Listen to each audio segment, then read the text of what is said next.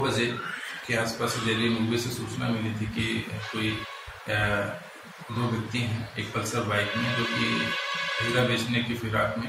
झरिया बहरा के आगे गुब्बारा के पुलिया के पास घूम रहे हैं, जिसमें सूचना, जिसकी सूचना तस्दीक हेतु तो थाने से एक टीम और एक गरियागंज की स्पेशल टीम के माध्यम से थाना से रवाना हुआ, हुए थे। और जाकर जैसे ही हम वहाँ पे पहुँचे गुब्बारा के पास तो पुलिस को देखकर भागने लगे, जिससे घेराबंदी करके दोनों को पकड़े। दोनों ही से पूछताछ करने पर एक व्यक्ति अपना नाम सीताराम ध्रुव जो कोयबा का रहने वाला है, और एक मनमोद नेताम, जो पायली खंड का रहना है, जिसकी तलाशी गवाहों के समक्ष की गई, जिससे सीताराम ध्रुव से पंद्रह नग गिरा और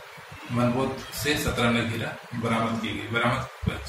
करने के पश्चात घटनास्थल पर पूरी कार्यवाही कर थाना वापस लाकर अपराध क्रमांक तिरपन आगे दो हज़ार इक्कीस, धारा तीन सौ उन्यासी, चौंतीस और माइनिंग एक्ट की धारा चार इक्कीस के तहत कार्रवाई कर अपराध सबूत पाए जाने पर पंद्रह दिन की न्यायिक को भेजा गया।